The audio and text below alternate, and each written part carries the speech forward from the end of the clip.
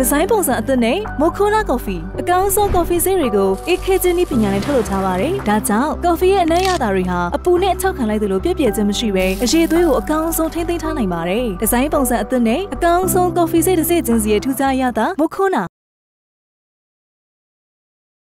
အခုနှစ်ယူဂန်ဒါရွေးကောက်ပွဲမှာထူးထူးခြားခြားအခြေအနေဖြစ်အာဖရိကတိုက်ရဲ့သက်တမ်းအရှိဆုံးသမ္မတနဲ့ပေါ့ဂီတာကျဲပွင့်တအူတို့အဓိကရှင်ပြိုင်သွားကြမှာဖြစ်ပါတယ်။ အနုပညာနာမည် Bobby Wine လို့လူသိများတဲ့အသက်38နှစ်အရွယ်အဆိုတော့ Robert Kaya Gulani က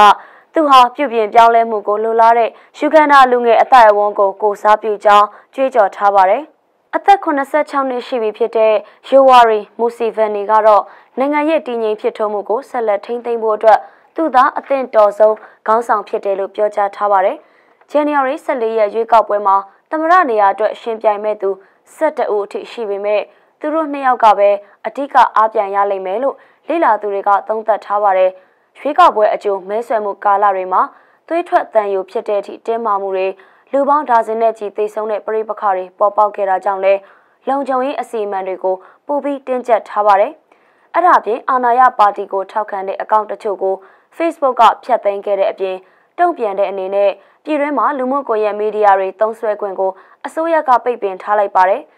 ယူဂန်ဒါရဲတပ်ဖွဲ့ကရွေးကောက်ပွဲနေကြရင်မြို့တော်ကန်ပါလာမှာလုံခြုံရေးအင်အားတိုးမြင့်ထားပြီးအရေးကြီးတဲ့မဲယုံတွေနားမှာတန်ချက်ကာရင်တွေထားရှိမယ်လို့ကြေညာထားပါတယ်။သမရမူစီဗန်နီဟာလက်ရှိယာဒူးကိုတာဝန်ယူထားတာ35နှစ်ရှိပြီဖြစ်ပြီးအခုလဲဆဋ္ဌမမြောက်သက်တမ်းအတွက်ရွေးကောက်ခံဖို့စီစဉ်နေတာဖြစ်ပါတယ်။